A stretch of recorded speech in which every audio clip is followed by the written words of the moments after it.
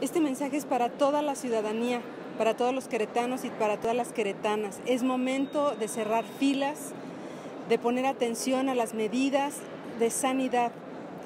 Hoy mi voto fue una abstención porque he observado que hay cierto temor por la ciudadanía ante esta contingencia sanitaria.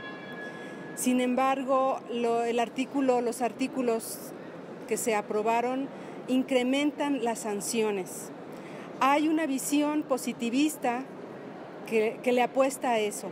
Yo no, porque va a haber un momento en que esta, esta situación pase y la situación económica va a ser difícil, sobre todo en los sectores, en las economías más vulnerables. De ahí mi llamado a todas y a todos para fortalecer nuestra economía local. Consumamos en los mercados, a la tiendita de la esquina, con nuestros vecinos. Vamos a fortalecernos.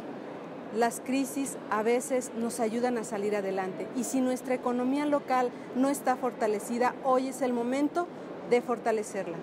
Vamos a, unirnos, vamos a juntarnos, no se expongan a tanta información, no se sobreexpongan a información que no es fidedigna, que no es de los especialistas sigan las instrucciones de los especialistas en los canales oficiales, evitemos las reuniones masivas, hagamos conciencia de que lo primero es la salud.